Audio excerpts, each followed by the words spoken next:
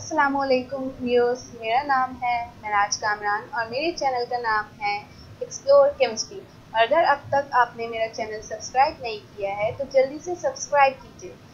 आज की वीडियो बहुत इंटरेस्टिंग है, क्योंकि आज की वीडियो में मैं लाई हूँ आप लोग के लिए एक quiz how much I like chemistry quiz this quiz will reveal your interest for chemistry ये क्विज आपको बताएगा कि आपको केमिस्ट्री कितनी अच्छी लगती है और आपको केमिस्ट्री में कितनी मेहनत की ज़रूरत है अगर आप एक केमिस्ट्री के स्टूडेंट हैं तो।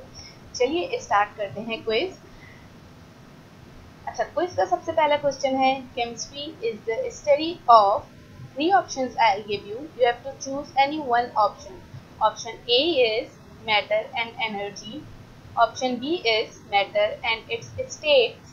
Option C is all about matter. You will get 5 seconds to answer. Your time starts now.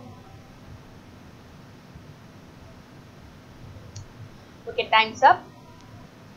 अब मैं आपको बताती हूँ करेक्ट आंसर क्या है अगर आपका आंसर आपने जो चूज़ किया आंसर वो है matter and energy then you got only one star means ये करेक्ट आंसर नहीं है If you have chosen metal and its states, you got two stars.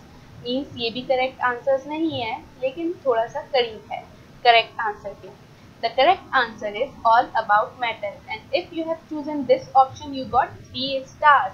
This is the correct answer. Next question is a scientist is working for decreasing global warming. On which branch of chemistry he is working? Option A is environmental chemistry. Option B is inorganic chemistry. Option C is nuclear chemistry. And your time starts now.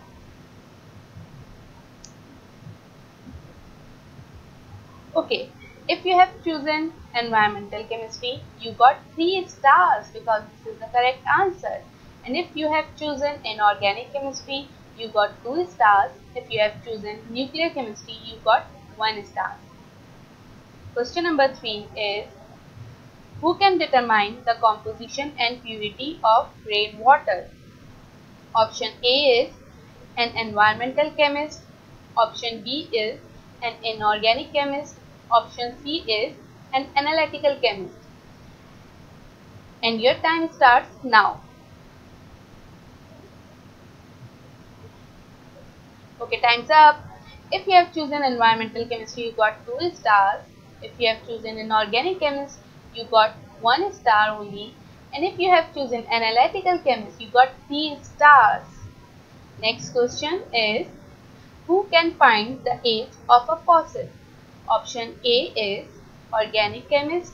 Option B, nuclear chemist. Option C is biochemist. And your time starts now. Okay, time's up.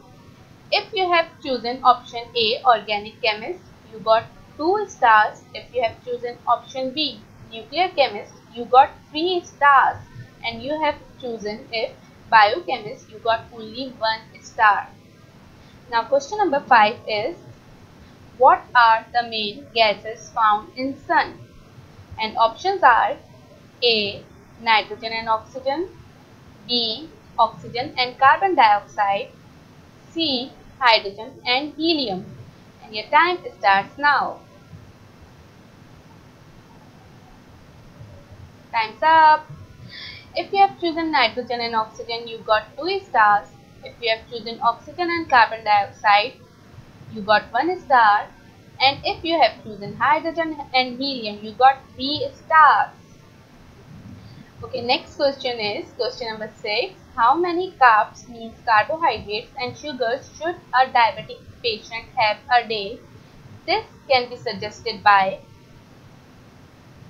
option A, a biochemist, option B, an inorganic chemist, option C, an analytical chemist. Your time starts now. Okay, time's up. If you have chosen A, biochemist, you got 3 stars. And if you have chosen B, organic chemist, you got 1 star. And if you have chosen C, analytical chemist, you got 2 stars. Now next question is, energy of a gas molecule is higher than the energy of a solid molecule. This concept is studied in option A physical chemistry, option B inorganic chemistry, option C nuclear chemistry. And time starts now. Okay, let's see what's the correct answer. If you have chosen physical chemistry, you got 3 stars, means this was the correct answer. If you have chosen B in organic chemistry, you got 2 stars. And if you have chosen C nuclear chemistry, you got 1 star only. Okay, let's move towards the next question. That is question number 8. Study of hydrocarbon is option A environmental chemistry, option B inorganic chemistry, Option C, organic chemistry. Your time starts now. Your time's up. If you have chosen A, environmental chemistry, you got only one star.